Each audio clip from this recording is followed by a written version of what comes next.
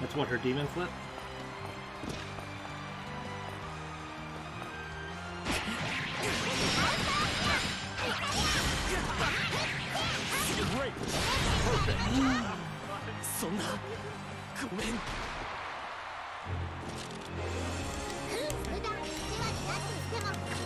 Well, that one's going in my highlights right there.